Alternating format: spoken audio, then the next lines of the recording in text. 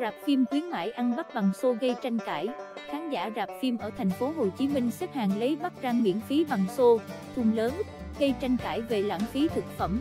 Chương trình có tên Ngày hội Bắc Rang, do cụm rạp Lotte triển khai từ ngày 25 tháng 10 đến 30 sẹt 11 ở thành phố Hồ Chí Minh và nhiều tỉnh thành. Theo đó, khi đến một trong những cụm rạp này, khán giả chỉ cần mua vé xem phim và mang theo bất kỳ vật dụng nào có thể chứa bắp rang, sẽ được nhân viên đổ đầy miễn phí ngoại trừ túi ni lông, túi giấy. Sự kiện bước đầu tạo được quan tâm lớn trong cộng đồng khán giả trẻ. Trên mạng xã hội TikTok, nhiều video với từ khóa ăn bắt bằng xô thu hút hàng trăm nghìn lượt yêu thích. Ở một số rạp tại thành phố Hồ Chí Minh, hàng trăm người đến vào giờ cao điểm, xếp hàng, mang các vật dụng đa dạng. Trong đó, không ít người sử dụng thau nhựa, thùng xốp, nồi nhôm, để đựng.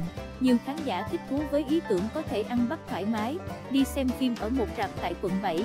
Anh Tuấn Hà quận Bình Thạnh cho biết, sự kiện tạo được không khí sôi động, hài hước. Nhiều bạn trẻ còn đem cả nồi cơm điện, son, đến đựng bắt và tạo dáng chụp ảnh. Không chỉ ở thành phố Hồ Chí Minh, sức nóng của hoạt động này còn lan tỏa ra một số địa phương, thu hút khán giả. Dù vậy, hiện tượng một bộ phận người dân lấy bắt quá nhu cầu ăn làm dấy lên lo ngại lãng phí thực phẩm. Khán giả Chiêu Ngân cho biết từng chứng kiến nhiều người ăn không hết một phần ba số bắp, phải bỏ lại rạp hoặc đổ ngay vào thùng rác trước phòng chiếu khi ra về. Cô nói, nếu đi xem phim một mình, tôi hầu như không gọi bắt vì cảm thấy một phần bình thường đã quá nhiều. Khi tôi hỏi một số bạn, họ vô tư nói muốn bắt chen chứ ăn làm sao hết.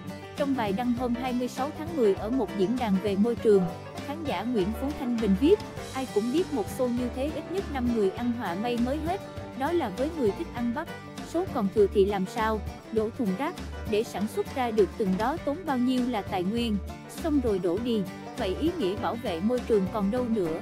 Bài viết đạt hơn 9.300 lượt chia sẻ kèm theo nhiều bình luận đồng tình.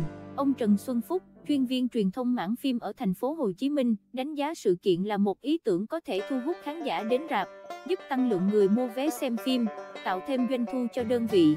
Tuy nhiên, ông Phúc cho rằng, ngoài câu chuyện lãng phí thực phẩm, nếu nhà tổ chức không quản lý được hoạt động của khán giả sẽ dẫn đến mất trật tự, có khi còn là hành động quá khích từ người dùng, tạo hình ảnh không đẹp nơi công cộng như chen lớn, xô đẩy, hoặc tệ hơn là bạo lực đám đông. Ông nói, phía Lotte thừa nhận sự kiện làm phát sinh một số hệ quả tiêu cực ngoài dự kiến. Bà Lê Thị Thắm, đại diện truyền thông Lotte, cho biết khi triển khai chương trình, đơn vị tin tưởng hoàn toàn vào khách hàng, để tạo tâm lý thoải mái cho khán giả. Họ tôn trọng việc người xem mang các vật dụng đựng bắt mà không bị gò bó bởi các điều kiện, hạn chế. Tuy nhiên, không thể tránh khỏi những trường hợp làm rơi vãi và một số hình ảnh có thể khiến mọi người hiểu theo hướng chưa tích cực. Chúng tôi rất tiếc vì điều đó, bà Thắm nói. Đơn vị cho biết hoạt động vốn dĩ được tổ chức với mục đích kích cầu. Họ muốn tri ân khách hàng, thu hút khán giả đến rạp sau gần 2 năm ngành điện ảnh bị ảnh hưởng nặng vì Covid-19. Đơn vị cũng muốn tăng thêm độ nóng cho phòng vé nhân mùa phim cuối năm và dịp Tết sắp đến. Sau khi triển khai, đơn vị này bất ngờ vì sự kiện thu hút hàng triệu lượt quan tâm, tương tác trên các nền tảng.